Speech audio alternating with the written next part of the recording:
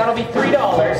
Pretty pricey for a pair of petty pants. Well, I'm sorry, Miss Prudy Pingleton, but there are some extra charges. Some of your personal stains required pounding with a rock. I'm home! Four o'clock? I guess I don't need to ask who got detention again. Tracy Turnblad, mind your manners. Say hello to our guest. Hello, Mrs. Pingleton. And you too, Penny.